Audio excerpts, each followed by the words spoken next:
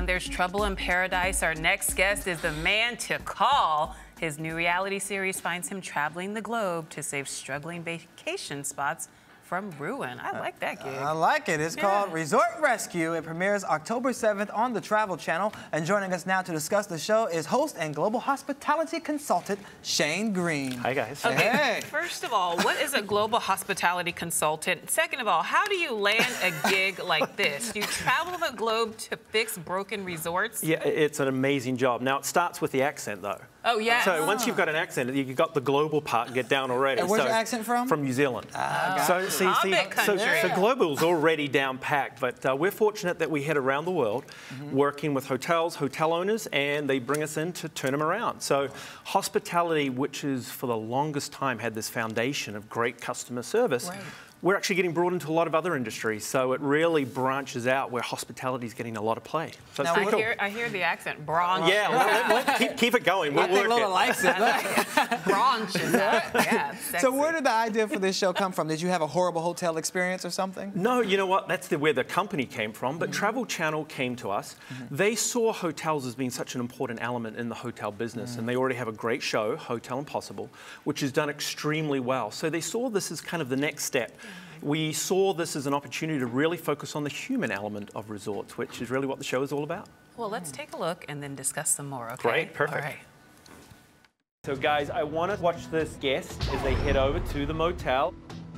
Right off the bat, I think this is a horrible arrival experience. But a lack of signage, a lack of lights. Quite honestly, as a single traveler, particularly a female, it could be quite scary. It can be intimidating. Yeah, I think we need to do some repair work on some of my lights that are out there. It looks like she's going to go through the pool. So, Oh no. going through the pool is probably not where she's meant to be. No. She's taken the direct path pretty much to her room. So let's just watch how she does. Oh my gosh. Guys, can you focus in on that? Her bag is floating in the pool. Oh, no, she didn't. She did. oh, my God. Imagine that for your start of your resort experience. Yeah. Well, one of the things I love is all the hidden cameras you guys put everywhere so you can really see what's going on. Does it take the hotel owners a lot of convincing on your part to get them to allow you to put these cameras everywhere? Surprisingly not. Actually, one of the most exciting parts is, is that they're very excited. Putting the hidden cameras in really allows them to take a step back from their business. Now, a lot of these independent owners, they work day in, day out around the clock. They're, they're working on the front line. To peel them off and get them to see how their resort really runs when they're not around is pretty cool. And once they go through the experience, they're hooked. Really? Okay, so how bad does it get? I mean, a suitcase in a pool, that's pretty gross, but uh, what's the grossest thing you've encountered? Uh, well, maybe not on the show. We actually did a property in China a few years ago. Went into this beautiful resort, absolutely gorgeous. Uh, nothing wrong with it out the front. We walked out the back. First thing I saw was a big rat. Mm. The whole back of the house was a dumping ground. Now, how does that apply to the show?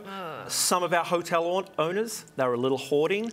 and they have to get rid of it. It's amazing. Cleanliness, one of the most important elements to focus on for a resort.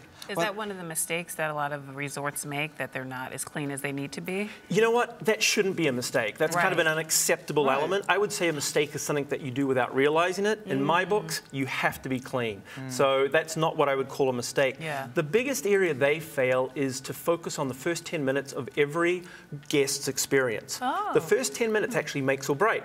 You will decide in the first 10 minutes from the time you pull up, check in, walk to your room, and when you get into the room, I can tell you the first three things you'll do. What? View, uh-huh. check out the bed, and check out the cleanliness in the bathroom. Ah. Focus on the first 10 minutes, and guess what? Your experience goes well. It's all about that psychology That's of first so impressions. true. I think I do that when I go into a new room because we Yeah. stay in a lot of hotels. Yeah. But you know, there's a lot of shows experiencing a lot of popularity like this where someone comes in, they fix a failing business or something that has trouble. Why do you think these shows are becoming so popular? Well, I think the whole idea of being rescued is an important element in our society.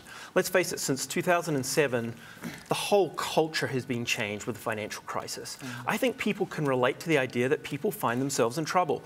A lot of our hotel owners, they put their retirements, they put their families on the line. The first episode, she puts her marriage on the line. Her husband walks out on her after two years saying that she loves the hotel more than she loves him. So talk about people being able to relate to the challenges of today. It- it- I mean, it's crazy what we saw. We saw single dads raising their boys in a hotel. We saw a mother bring us in because mum and uh, dad and the son didn't get along. So these elements, I think people relate, and they like to know that they're not the only ones going through it. Okay, so where can we catch this show? Because I'm hooked. Travel Channel. Uh, and again, we're on air. October 7th is our launch date and at 10 p.m. Eastern. So hopefully we'll see everybody there.